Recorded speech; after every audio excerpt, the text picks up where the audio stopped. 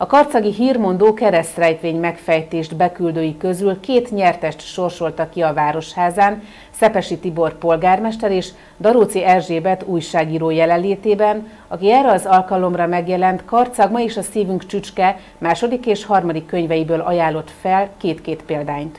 A közel 30 beérkezett megfejtő neve egy vázába került, melyből Disznós Andrásné és Egedi János neve került kihúzásra. Így ők kapták meg a szerzőtől a két könyvcsomagot.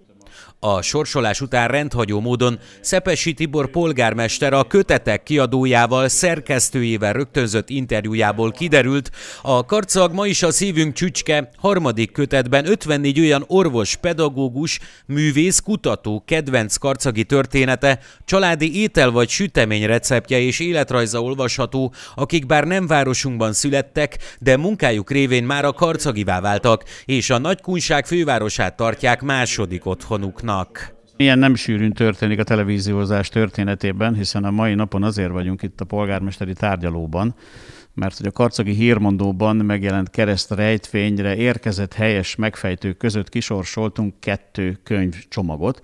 Minden is gratulálok a nyerteseknek. A könyvcsomagok felajánlója, felajánlója Daróci Erzsébet, aki a Karcag ma is a szívünk csücske egyes, kettes, hármas kötetének szerkesztője, írója, most a hármas kötetről kérdezem, mit kell tudni a harmadik kötetről?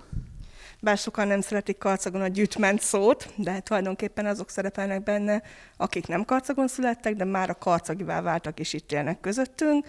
Ők mesélik el, hogy nekik mit jelent karcag, milyen kedvenc receptjük van, és mindenkiről ugyanúgy, ahogy a másik két kötetben van egy lexikon. Az első kiadás már teljes egészében elkelt. Eh, hogy állunk a további kiadással?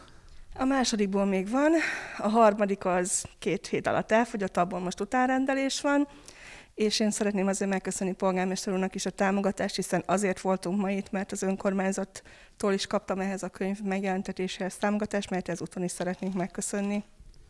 Természetesen azt gondolom, hogy valamennyi olyan könyvet, kiadványt támogat önkormányzatunk az előző időszakban is így történt, a jövőben is így fog történni, hiszen ahogy maga a könyv címe is mondja, karcag mindig a szívünk csücske.